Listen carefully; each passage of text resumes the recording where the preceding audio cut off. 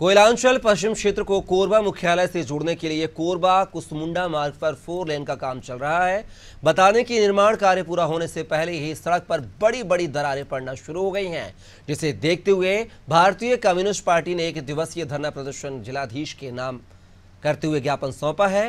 ज्ञापन में कहा गया है कि निर्माणाधीन सड़क की गुणवत्ता की जाँच की जाए और दोषियों पर कार्रवाई भी की जाए।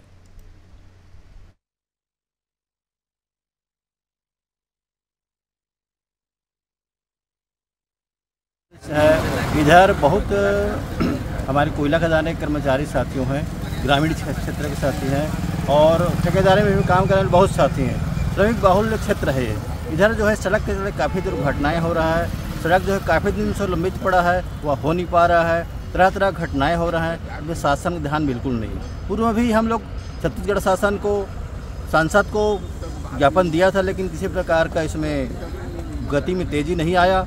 उसी के संदर्भ में आज हम लोग एक दिवसीय धरना प्रदर्शन कर रहे हैं और हमारा दूसरा है कि यहाँ रेल यात्री जो है, बहुत परेशान, रेलगाड़ी भी चलता था, पैसेंजर यात्री, पैसेंजर ट्रेन जो है काफ़ी दिन से बंद है।